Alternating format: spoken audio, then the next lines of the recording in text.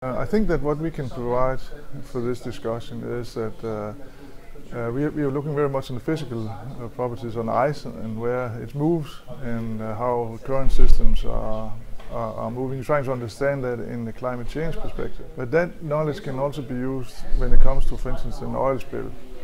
So where does the oil go? Um, when is it released from the ice? Uh, how can we minimize the risk of an oil spill and what's the technical solution actually to do something about it. My recommendation to decision makers would be to collaborate, start talking together, start to make um, the solution needed uh, for a safe uh, future for the Arctic.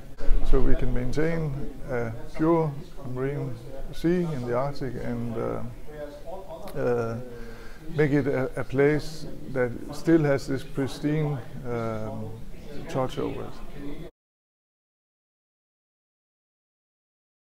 I think a conference like Matchpoint can make a difference uh, because it starts to discuss difficult matters. This is not something we just make a solution on very quickly.